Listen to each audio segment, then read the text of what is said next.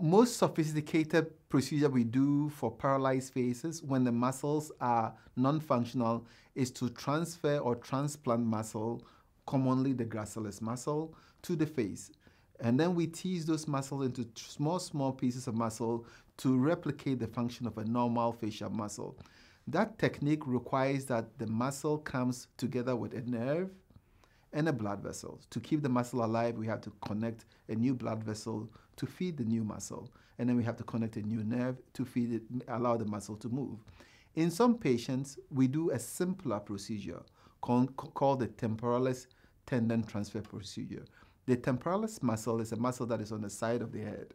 It attaches to your jawbone and it allows you to chew or grind your teeth. But there are other muscles in the body that does the same thing. So we can repurpose that muscle. We detach the temporalis tendon from the jawbone and then attach it to the corner of the mouth and teach this muscle to create a smile or support the paralyzed face. The advantage of this uh, technique is that it's a very straightforward procedure. It takes about two hours. You see the results right away. There are sometimes that we prefer to do the more sophisticated uh, surgery, which is the gracilis transfer. Because with the gracilis, it's versatile. We can change the vector of smile. We can actually create a full smile. The ten tendon has some limitations, but it's a quick procedure that is usually the best choice for someone who is looking for something quick, one-step surgery.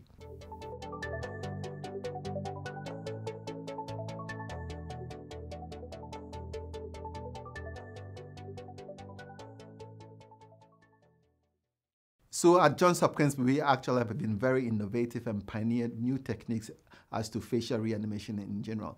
One specific way we've made a big difference is the use of gracilis muscle.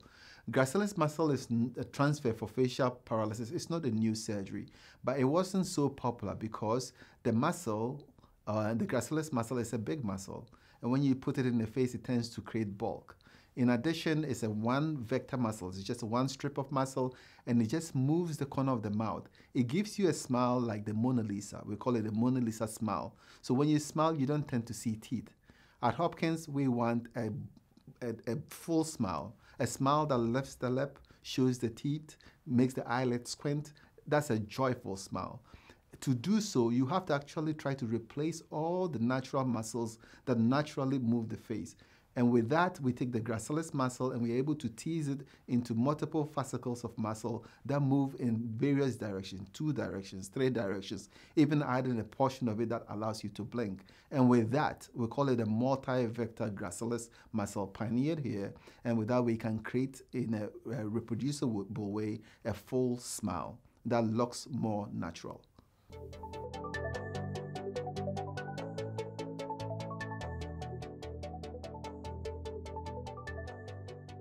Single stage versus a two stage procedure.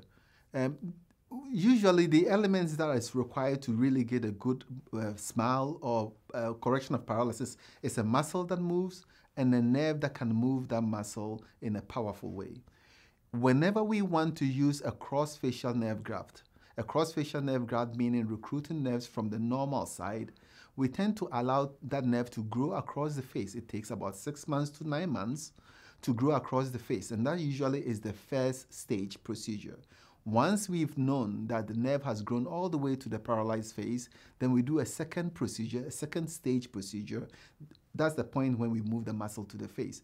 The reason for that is you never want a muscle to sit in the face without a nerve talking to it. The muscle slowly tries to die away before the nerve grows into it. So that's when we do two stage procedures.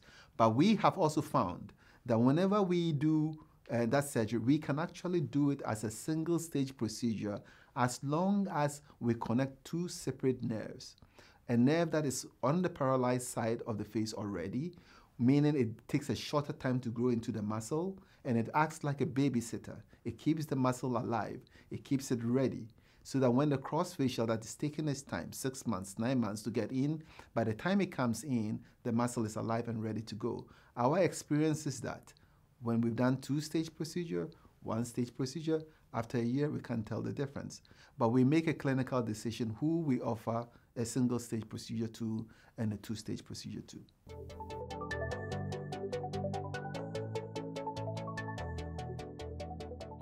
If your paralysis has been there for a very long time, your muscles, the muscles are gone. In those cases, we have to transfer muscle. The eyelid muscles are the smallest muscles in the face. There is no other muscle in the body that really replaces it very well. But one of the things that we've pioneered here at Hopkins are transferring tiny little muscles.